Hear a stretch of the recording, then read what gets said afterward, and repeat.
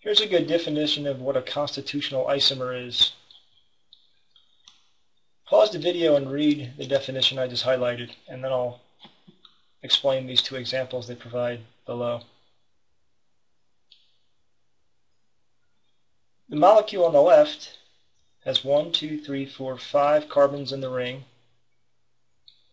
One out here, so that's six and seven. So the total of seven carbons. Molecule on the right has six carbons in the ring and one out here, so that's seven. One oxygen, one oxygen, one bromine, one bromine. Hydrogens, there's one here, two, three, four, plus the 2 here, that's 6, and 7, and there's 3 out here on these methyl groups, so that's 13.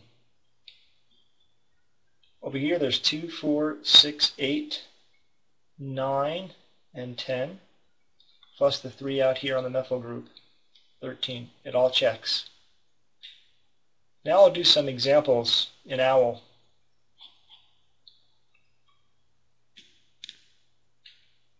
I'll do a couple problems in this unit here from 11 to B and OWL. Draw constitutional isomers of alkanes, cycloalkanes. So it reads, draw a structural formula for one constitutional isomer of the cycloalkane cyclobutane,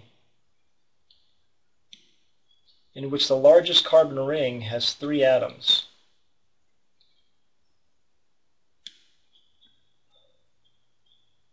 So I have to deal with four carbons because it's cyclobutane. Butane implies four.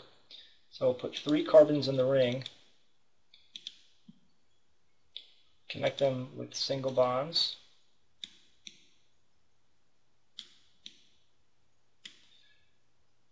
So there's the ring, and then I need one carbon.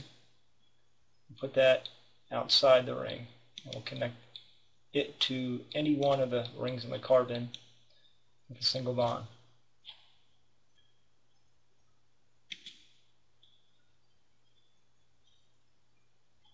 Draw a structural formula for one of the two constitutional isomers of the alkane C7H16 in which the longest carbon chain has six atoms. Okay, so I have six carbon atoms in straight chain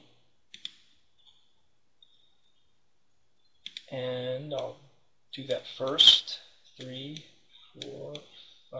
and six and I have a choice of putting this carbon the seventh carbon on somewhere on this chain well, if I put it on the end, that's simply going to be straight chain heptane, which is not what they want. That'll be seven carbons in the chain, and we can only have six. Well, I could put it one from the end. That'll work. But now the question is, does it matter if I put it from this end or this end here? No, it doesn't, because if you put it on either end, you could rotate the molecule around and it'll be the same molecule.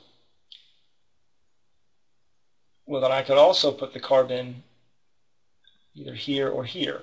So I only have two choices. One in from the end or two in from the end. Doesn't really matter to me, so I'll just put it there.